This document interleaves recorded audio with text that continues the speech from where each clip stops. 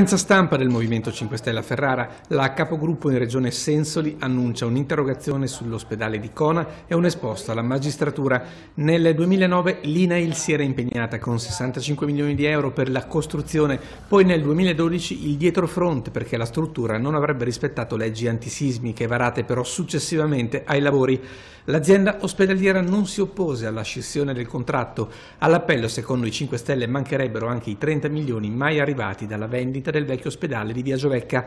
A chi sono in carico questi 95 milioni? All'azienda sanitaria, scrivono i 5 Stelle nella richiesta alla Regione, sollevando il dubbio che possano aver gravato anche sul fallimento di Carife, all'epoca tesoreria dell'ospedale. A noi non risultano le coperture che sono venute a mancare, specialmente quella riguardante l'INAIL.